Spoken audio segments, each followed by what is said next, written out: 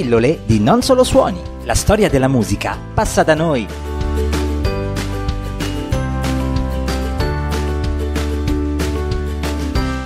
Ed eccoci pronti a riprendere il nostro viaggio, questa volta tornando indietro a qualche anno fa e precisamente a un tormentone estivo data la stagione in cui ci troviamo, degli anni 90.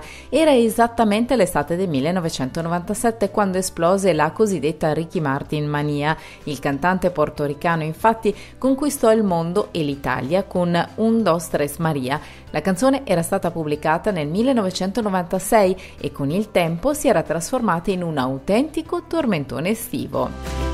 In Italia infatti spopolò l'anno successivo e contemporaneamente cambiò radicalmente la carriera di Ricky Martin, garantendogli la popolarità anche in Europa e negli Stati Uniti. Ma andiamo con ordine. Intanto va ricordato che il brano, noto anche semplicemente come Maria, è stato scritto da Luis Gomez Escolar, Kissey Porter, Ian Blake ed interpretata proprio dal cantante portoricano per il suo terzo album, A Medio Vivir del 1995.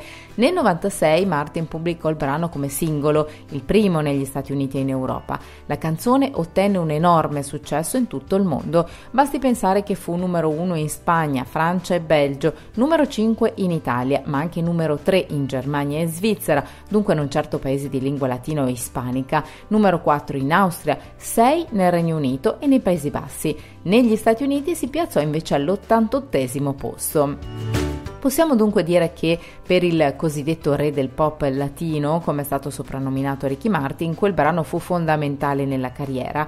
Per lui, all'anagrafe, Enrique Martin Morales, cantante, attore, personaggio televisivo, portoricano appunto, classe 1971, figlio di uno psicologo e di una ragioniera, che però divorziarono quando Martin aveva appena due anni. Dopo la scuola cattolica, dove partecipò al coro alle recite, decise di prendere lezioni di musica, canto e recitazione e dopo aver passato molti provini pubblicitari, ecco che nel 1982 tentò di entrare nei Menudo, una boy band latina composta da tutti giovanissimi. Fu però scartato perché era ritenuto fin troppo giovane e anche non troppo alto. Ci riprovò però e riuscì a farsi prendere due anni dopo.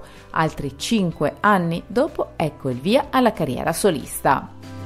Prima il trasferimento a New York, poi a Città del Messico, poi ancora i primi album, i primi due, di successo ma quasi esclusivamente nel mondo latino e cantati solo in spagnolo. Ecco infine un altro trasferimento, questa volta a Los Angeles nel 1994, dove entra a far parte del cast della soap opera General Hospital interpretando un barista. A questo punto, data anche la notorietà come attore, arriva l'album di svolta Medio Vivere appunto del 95 che contiene anche il nostro brano protagonista oggi. Da allora ne sono usciti altri 12 di dischi e la sua immagine iniziale di sex symbol latina, latino è mutata. Nel 2008 Ricky Martin infatti ha avuto tramite maternità surrogata due gemelli, Matteo e Valentino. È solo due anni dopo però che ha fatto outing sulla propria omosessualità in un libro autobiografico intitolato Me nella versione in inglese, Io in quella spagnola, nel quale appunto ha affrontato l'argomento. Nel 2016